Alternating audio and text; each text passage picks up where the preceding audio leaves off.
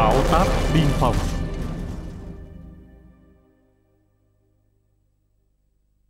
Tập 21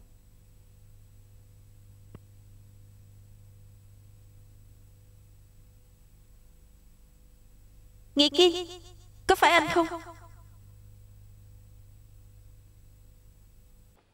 Nghĩa Kiên Anh đừng đi đợi em với. Nghĩa Kiên Hiểu đâu? Hậu Đông Hậu Đông à, Đông Đông Con sao vậy? Mơ thấy ác mộng hả? Mẹ. Con mơ thấy Hậu Đông Không có gì đâu Đừng căng thẳng quá ha. Bác sĩ vẫn chưa ra Để thêm chút nữa đi Con có muốn ăn gì không? Để mẹ đi mua cho. Không biết Nghĩa Kiên sao rồi. Không có chuyện gì đâu Bác sĩ sẽ cố gắng mà ha?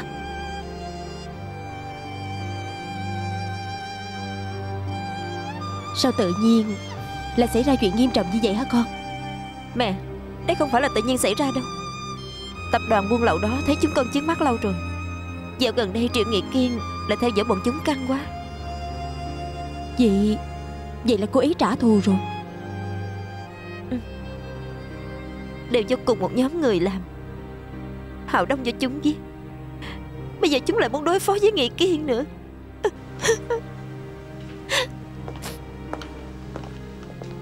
Đồng chí tôi Hiếu Đồng phải không? Phải. Chúng tôi là công an. Phụ trách điều tra vụ án này. Mời cô hợp tác với chúng tôi. Được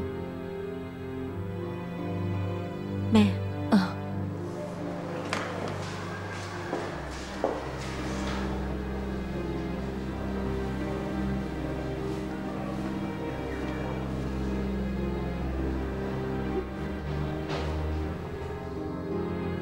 Kiều Phong.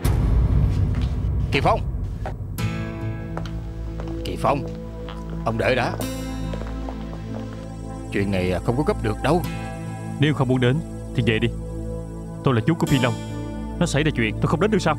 Tôi không nói là không cho ông đến. Nhưng mà Vào lúc này Có rất nhiều công an và ký giả sẽ đến đây. Ông xuất hiện vào lúc này Sẽ gây sự chú ý của họ Như vậy bất lợi lắm. Tôi mặc kệ. Nhân xác của Phi Long trước rồi tính sau. Bây giờ cậu ấy dính dáng tới vụ ám sát bộ đội biên phòng. Tụi này không có nhẹ đâu. Có nhận được xác hay không còn là một vấn đề đó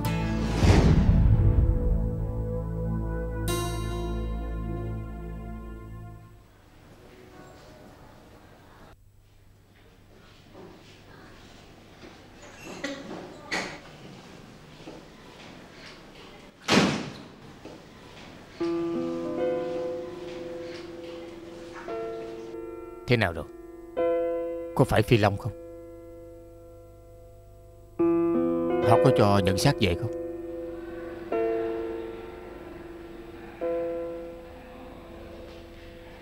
Nhìn vét vẹt của nó. Cảm thấy nó rất nhỏ bé, Rất trẻ. Tôi nhớ khi nó còn nhỏ, Mỗi lần tôi gọi nó thức dậy nó không bao giờ chịu thức. Nó luôn giả bộ nằm ngủ.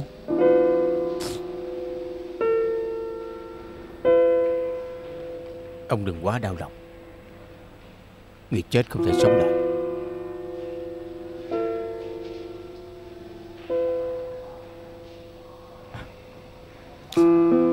Có phải tôi không nên dẫn nó vào nghề này không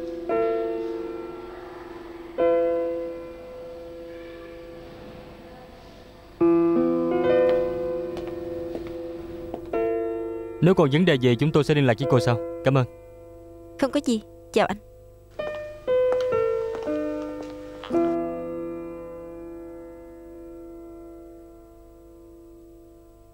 Mẹ. Đồng đồng. Ừ. Mẹ muốn hỏi con chuyện này. Tập đoàn buôn lậu mà con đang điều tra Người đứng ở phía sau Có phải là Dương Kỳ Phong không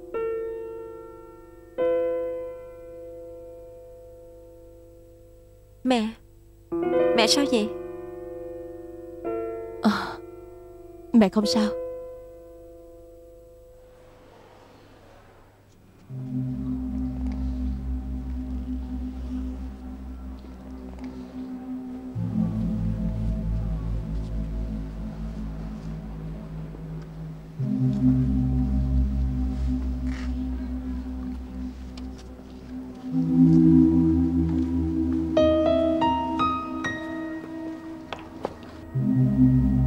Nghĩ ra hả?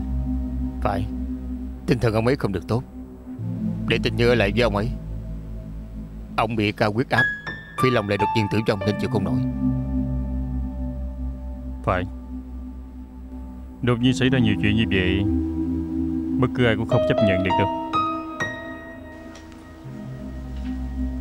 Tuy tính tình Phi Long hơi lỗ mãn Nhưng cũng là một trợ thủ đắc lực Dương Tổng bỗng nhiên mất đi cậu ấy. Qua thật tổn thất không ít.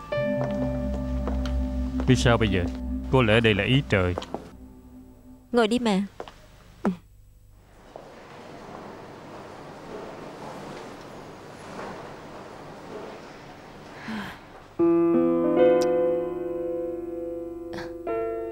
Đồng đồng Con đừng lo nữa. Hay là chúng ta về nhà nghỉ một chút đi. Mẹ Mẹ về nghỉ trước đi Một mình con ở đây là được rồi. Mẹ phải ở lại đây với con chứ ừ? Đồng đồng. Thật ra Mẹ có một chuyện Muốn hỏi con. Bác sĩ Anh ấy sao rồi? Phẫu thuật rất thành công. Sang phòng bệnh điều dưỡng một thời gian là khỏi thôi. Bây giờ tôi có thể vào thăm anh ấy không Một lát nữa chuyển vào phòng hãy vào thăm Cảm ơn bác sĩ. Cảm ơn. Con đến phòng bệnh để anh ấy nha mẹ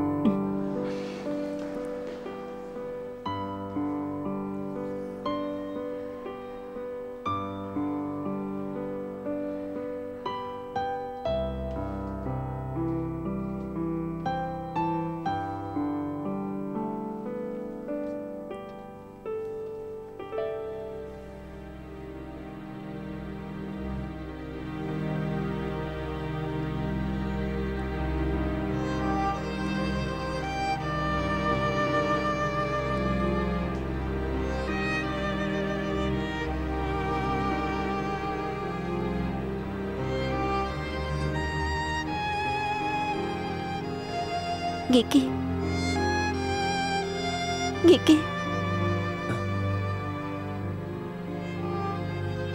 Nghị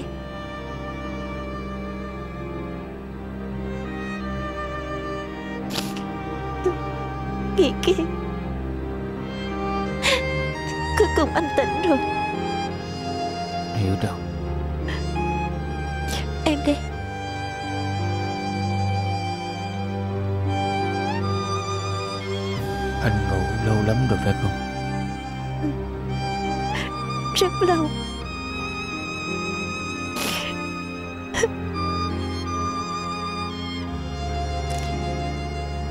Nín đi em. Hảo Đông từng nói Trên mình của người lính Có thêm hai khúc xương. Em biết Một khúc là mạnh mẽ Một khúc là kiêu hãnh. Anh tin là mình có xương mạnh mẽ. Cuối cùng anh đã chống chọi được.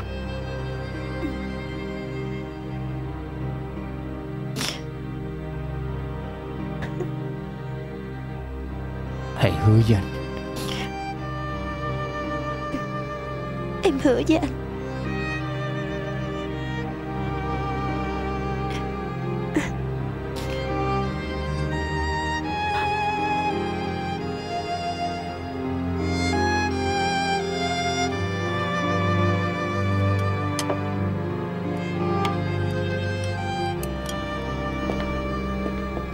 Tin vui, đây Lúc nãy Hiểu Đồng điện về nói Triệu Nghị Kiên tỉnh rồi Anh đã tỉnh rồi. Hay quá, hay quá. Hay quá Trưởng cố vấn. Ê Tiểu Hạ. Triệu Nghị Kiên không sao rồi. Thật hả? Vậy thì tốt quá. À phải rồi. Hôm nay à, tôi đã xin nghỉ một ngày vì có chút chuyện. Khi cô đến thăm cậu ấy cho tôi gửi lời hỏi thăm nha. Tôi rảnh sẽ vào thăm cậu ấy. Ừ, dạ được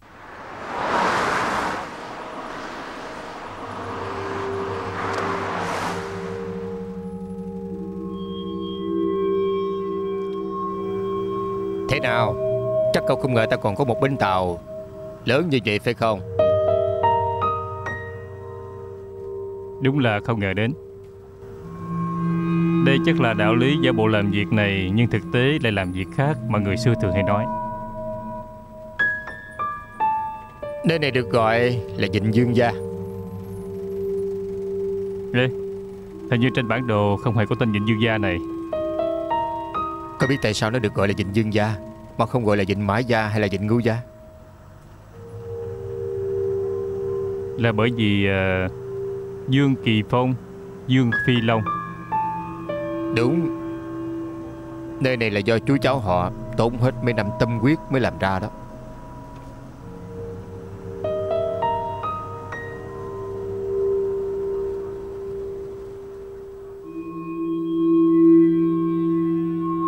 Thế nào Cũng quy mô lắm phải không?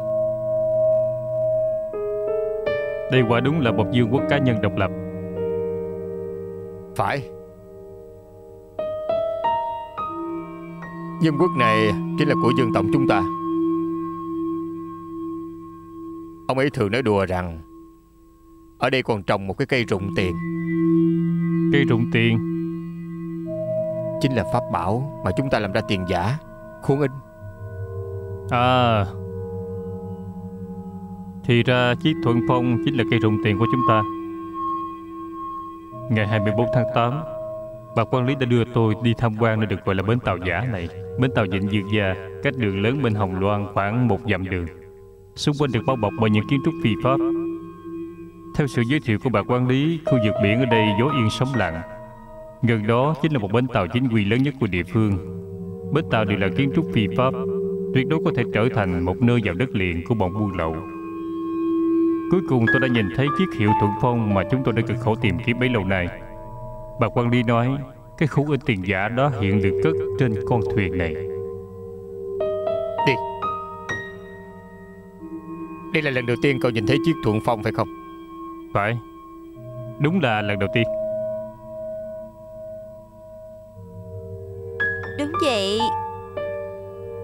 Trời ơi Thôi đi ừ. Ừ. Bây giờ anh tới liền nha Ủa, cô gái ờ, đứng trên thuyền là ai vậy? Cậu không biết khổ à Không biết.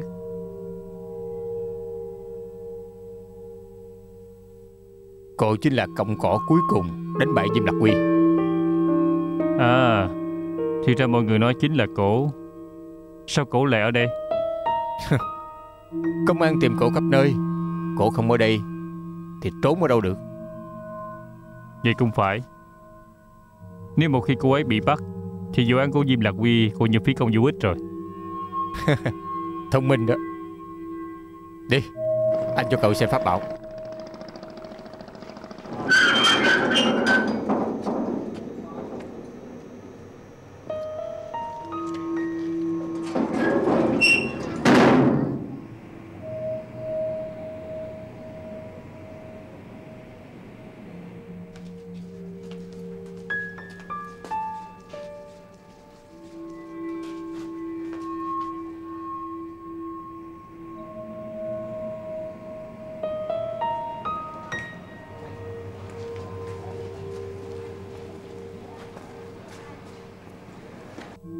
Thế nào? Hả? Chưa thấy qua thật như vậy phải không? Hả? Đúng là không thể phân biệt được thật giả. Nhìn thấy chưa? Mấu chốt chính là ở hai miếng này đây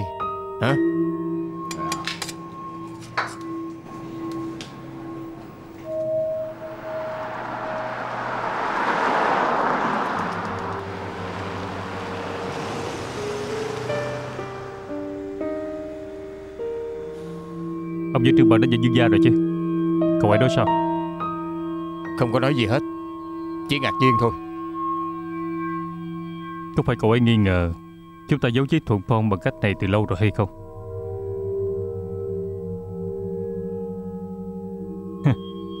Xem ra Tôi có thể tin cậu ấy hơn rồi. Nếu cậu ấy đã nghi ngờ Nhưng bên biên phòng chẳng có hành động gì hết.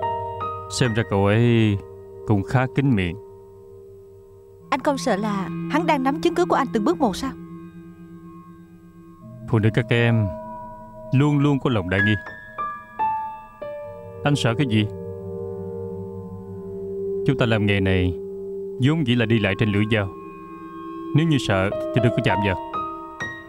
Cuộc sống vốn dĩ là phải mạo hiểm. Và lại, Trương bằng có điểm yếu nằm trong tay chúng ta. Vợ và em và cậu ấy Đều nằm trong sự điều khiển của anh. Anh có gì mà phải sợ đâu. Tình Như, Em yên tâm đi. Bây giờ Phi Long chết rồi. Hiện giờ đang thiếu người. Cậu ấy chính là lá bài tốt nhất trong tay chúng ta. Bởi vì cậu ấy là người bảo hiểm hai đầu.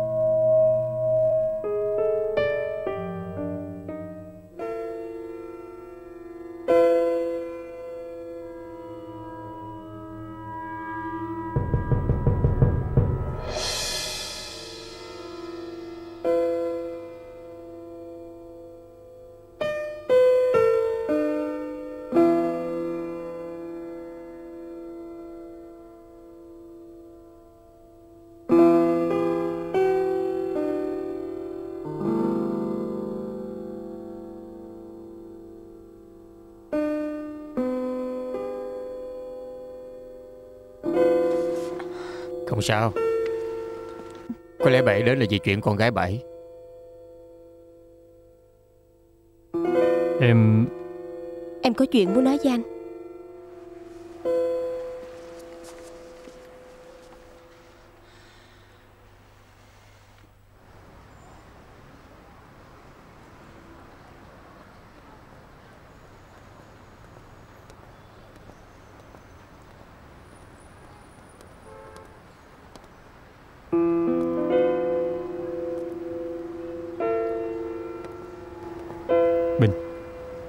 thật không ngờ. Em lại đến tìm anh. Có chuyện gì em cứ nói đi. Em hứa với anh Em có thể đi theo anh. Thật sao? Em không đùa với anh chứ? Em đã suy nghĩ rất lâu. Em không phải đang nói đùa đâu. Em có thể đi theo anh. Đi đến đâu cũng được. Chỉ cần có thể khiến chúng ta sống yên ổn Cho hết quãng đời còn lại Sao đột nhiên lại thay đổi ý định như vậy? Em vì đồng đồng? Đúng vậy. Nó cũng nên biết Ba ruột của nó là ai. Em sẽ nói cho nó biết.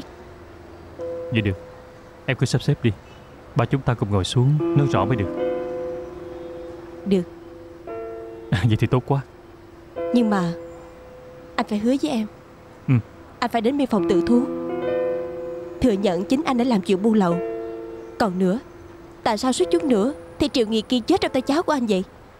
Anh Tất cả những chuyện này Có phải do anh sắp đặt không?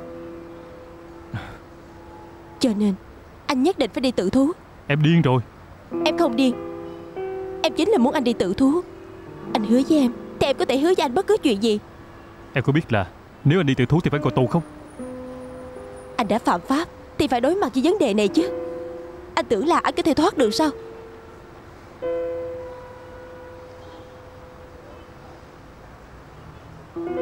Có phải có người Bảo em nói như vậy với anh không? Không phải. Tự em nghĩ rằng Có lẽ nên làm chút gì đó cho anh Và làm chút gì đó cho đồng đồng nữa.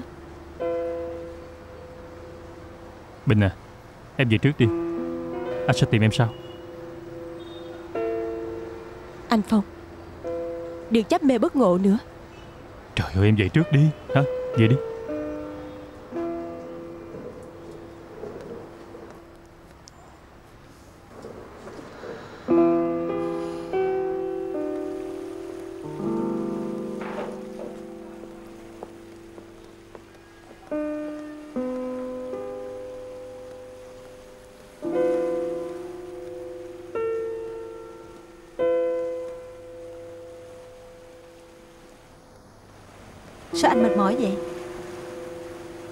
Long chết rồi Anh đã mất đi một trợ thủ đắc lực.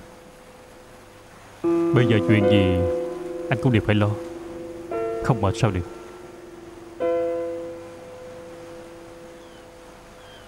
Lúc nãy Tô Bình đã nói gì với anh?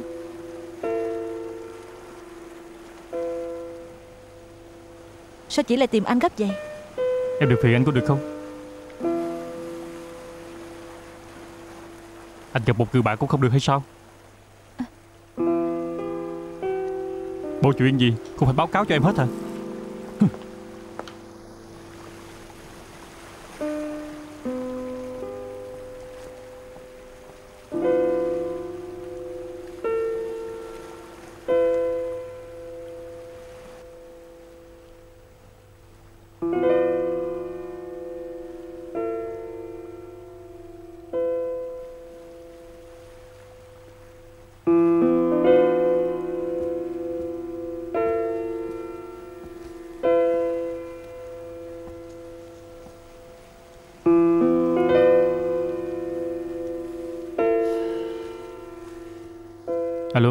Bình hả? Ừ, Kỳ Phong đây. Những gì em nói lúc nãy, Anh muốn Mình tìm một nơi ngồi xuống bạc bạc đi.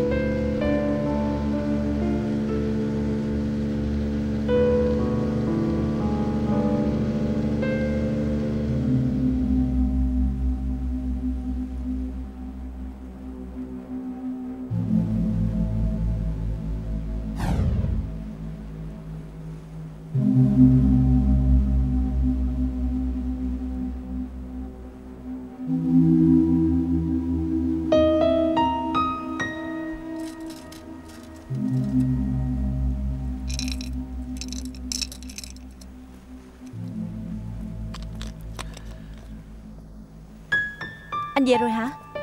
Em vẫn chưa ngủ sao? Sao anh về trễ vậy? Em có chuyện muốn bàn với anh. Ờ ngày mai mới nói đi ha. Anh mệt lắm. Anh đi ngủ đi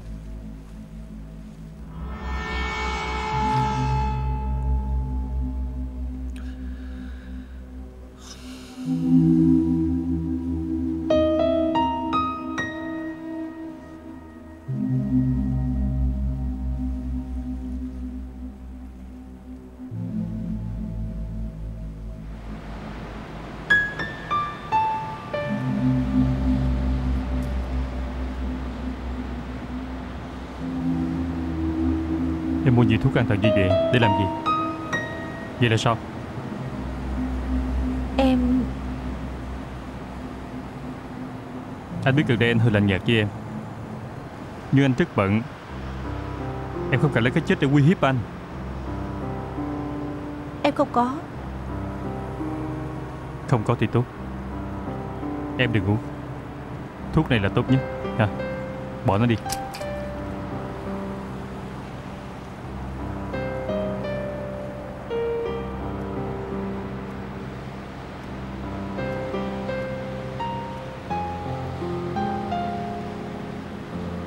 Tình Như à Hãy bình tĩnh lại đi. Thật ra anh luôn nhắc nhở em Đừng ôm quá nhiều hy vọng ở chỗ anh. Và cũng đừng mong em có thể trói buộc được anh. Em không có. Em thừa nhận là em rất hờn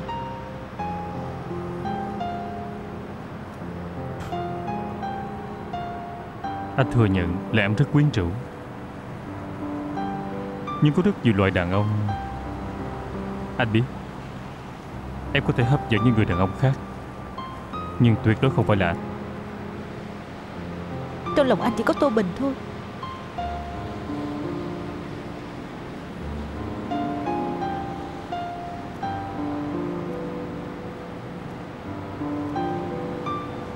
Anh chỉ nhớ một người thôi. Nhưng sao anh lại không nhớ Em theo anh bao nhiêu năm nay? Đã hy sinh cho anh nhiều như vậy? Anh rất mang ơn em Chỉ vậy thôi sao? Vậy em muốn anh phải làm sao? Em hoàn toàn khác với Tô Bình. Anh ở bên cạnh cô ấy. Thì anh sẽ nhớ lại Rất nhiều chuyện tốt đẹp của ngày xưa. Vậy còn em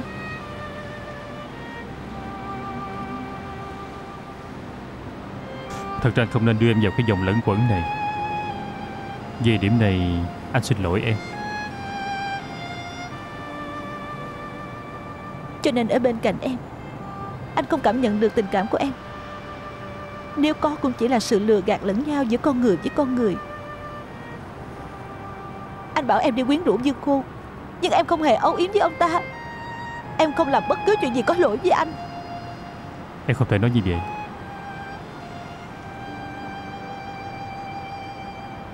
Vậy còn Tô Bình là như thế nào hả?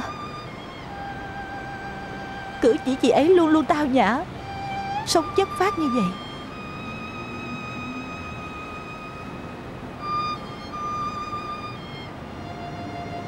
Kỳ Phong. Anh hãy nói cho em biết. Có phải hai chúng ta Không thể nào ở bên nhau được nữa thật sao?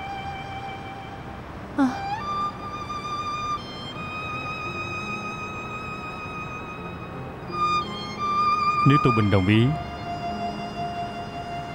Anh rất muốn cô có thể trở về bên cạnh anh. Để anh bù đắp Tất cả những gì đã mất đi. Vậy những gì em đã mất đi thì sao? Anh sẽ bù đắp cho em. Như vậy đi. Anh chuyển 5 triệu vào tài khoản của em. Em có thể xài từ từ.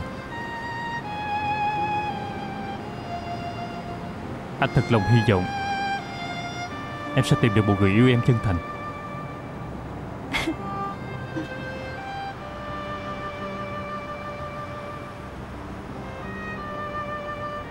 Ngủ sớm đi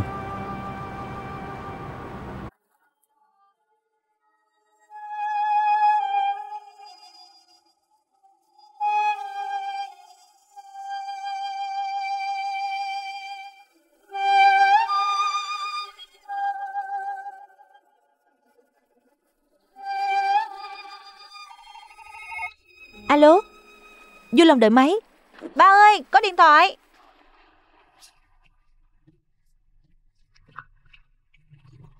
Alo, Diêm là Quy nghe đây. Được, tôi sẽ đến ngay.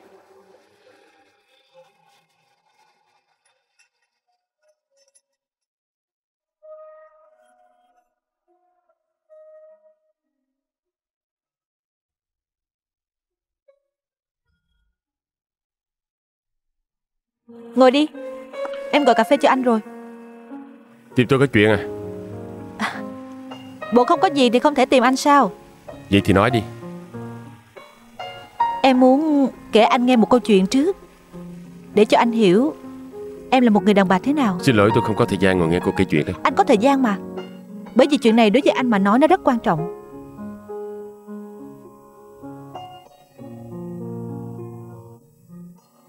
Vào năm em 18 tuổi, Em đã yêu một người đàn ông. Anh lớn hơn em rất nhiều. Ảnh là một thợ làm tóc. Em thích được ảnh làm tóc mỗi ngày. Thích cái cảm giác những ngón tay của ảnh massage đầu cho em. Có một lần, Ảnh đã tốn rất nhiều thời gian Làm một kiểu tóc mà ảnh cho rằng ảnh rất hài lòng. Lúc đó em cũng rất thích kiểu tóc đó.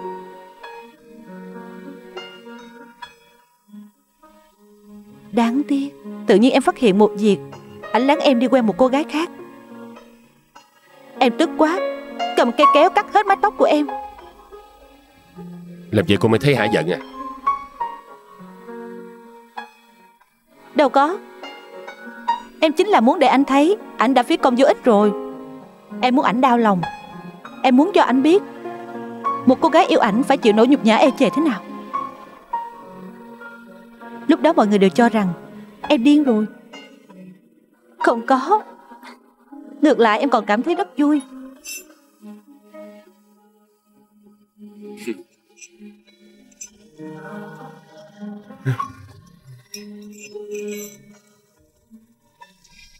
Có lẽ anh cảm thấy em là người đàn bà đáng sợ. Đúng vậy. Đàn ông bình thường tốt nhất là không nên đến gần em. Cô gọi tôi tới để nghe câu chuyện này của cô sao? Dĩ nhiên là không phải. Em muốn anh giúp em một chuyện. Chuyện gì vậy? Em muốn quỷ hoại Dương Kỳ Phong. Tại sao? Là anh bất nhân trước. Cho nên em mới bất nghĩa. Hắn đã làm gì cô?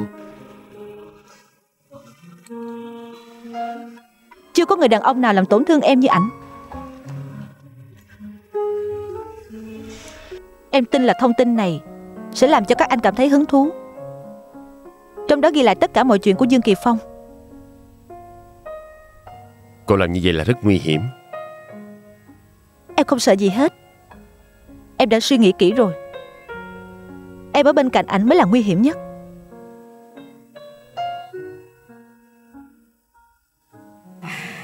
Những người làm nghề này như cô Giữa con người với con người chẳng có nền tảng tình cảm gì hết. Chỉ là lợi dụng trao đổi thôi.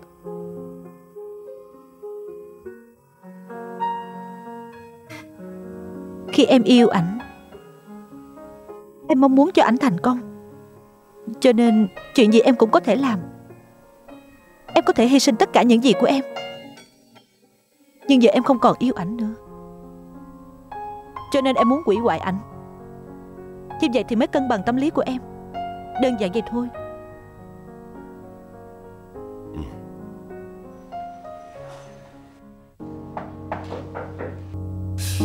Vào đi. Chị đội trưởng Chú gọi cháu. Ừ, Cháu ngồi đi.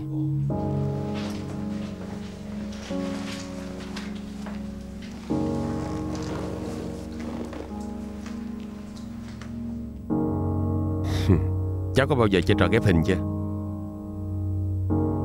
trò chơi của con nít mà. Đúng vậy. Rất nhiều mảnh hình nhỏ Khi được ghép lại rồi Thì sẽ thành một bức tranh hoàn chỉnh. Rất thú vị. Tại sao chú lại nhắc tới trò chơi ghép hình như vậy chứ? Cho xem mấy hôm nay. Chú Nhận được một số Tài liệu tố giác Có liên quan tới duyên Kỳ Phong. Quách Thiếu Hoa cũng có, Tài liệu của cháu cũng có. Còn có của Viên Tĩnh Như nữa. Cái gì?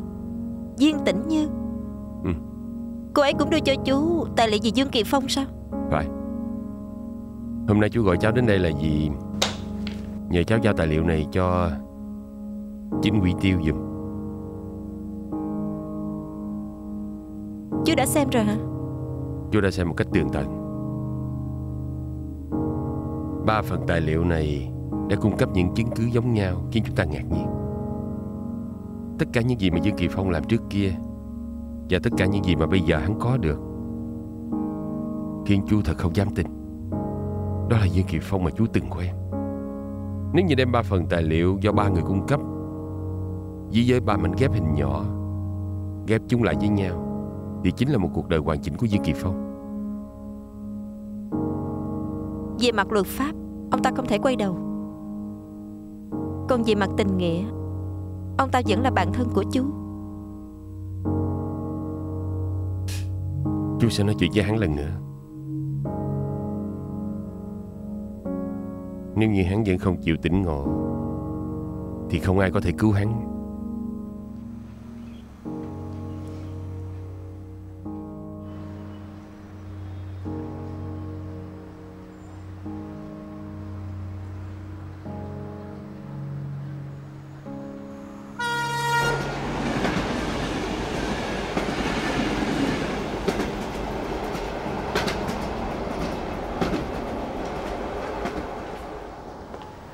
Anh nhìn gì vậy? Hả? Ờ không có gì. Em thấy anh cứ như người mất hồn đó. À Dân dân à Anh nên đưa em về mới phải. Em có thai Trên đường đi phải tự chăm sóc mình. Ờ tới đó rồi á, em không cần xuống xe. Mẹ sẽ vào tận trạm để đón em. Sau khi về nhà rồi Em nhớ đừng đi lung tung. Phải chăm sóc mình cho tốt. Hãy hứa với anh là làm tốt nhiệm vụ này Sinh một chiến sĩ nhỏ. Anh cũng phải tự chăm sóc cho mình đó. Ừ anh biết rồi. Anh sẽ điện thoại cho em mỗi ngày. Nếu như bận quá Thì không cần phải điện cho em mỗi ngày đâu. Ừ, vậy đâu có được. Vậy em mét với cô thì sao? Nói anh ờ, không quan tâm đến mẹ con em. Hử? Ở đây rồi Số 10 Chào cô số 10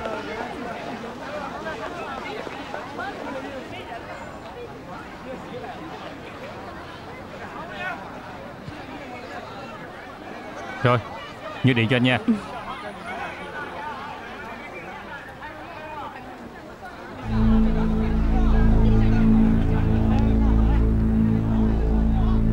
Các tổ chú ý.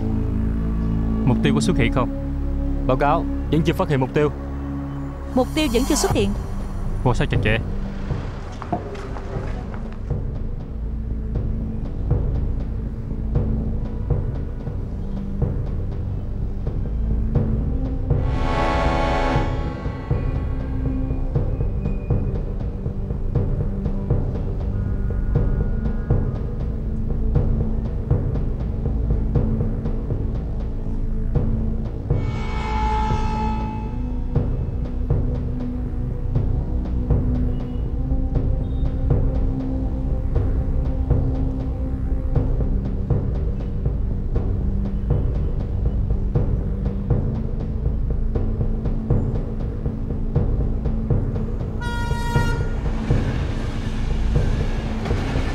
Nguy hiểm.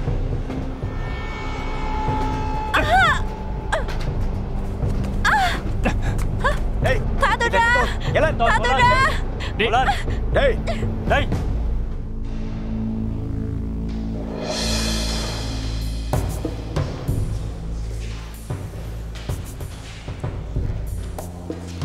Cô Phòng Tìm cô cũng khó thật.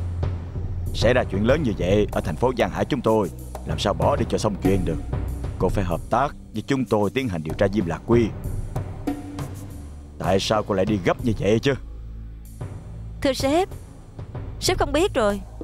Cũng bởi vì xảy ra chuyện như vậy, Cho nên tôi mới bỏ đi.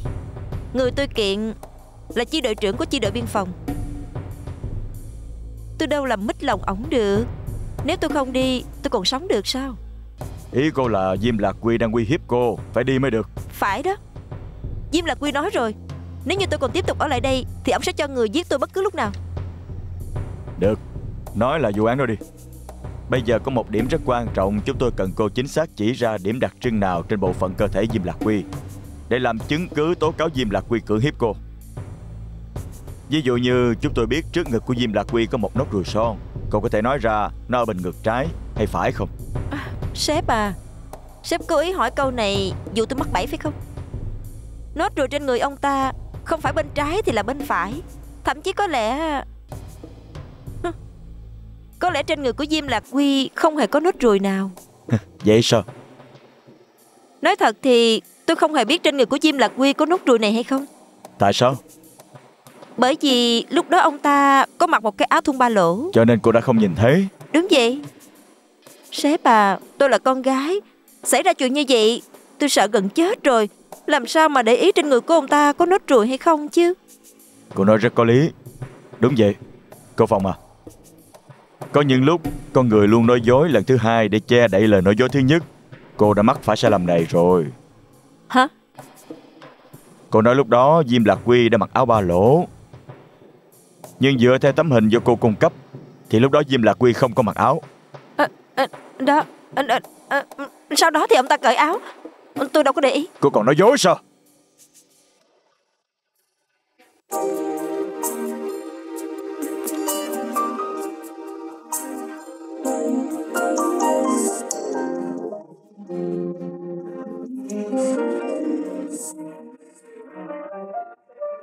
我曾经最爱的女人，在我的心里藏得最深， 并不是常常想起你，却从来不曾忘记。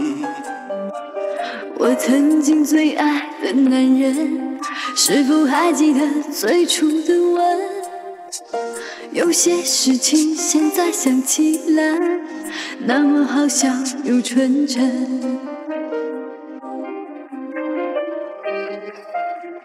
终究是一场美丽的梦，在我的记忆中珍藏。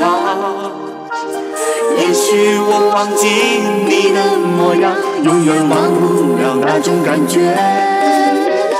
沧桑的改变我们的容颜，带走我们的青春。可是，在我的心里，你永远美丽，永远不会老去。我曾经最爱的男人，早已分开了许多年。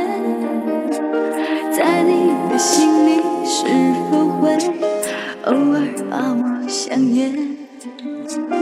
我曾经最爱的女人，也许这一生不再相逢，就让我们的心里永远留着最初的纯真。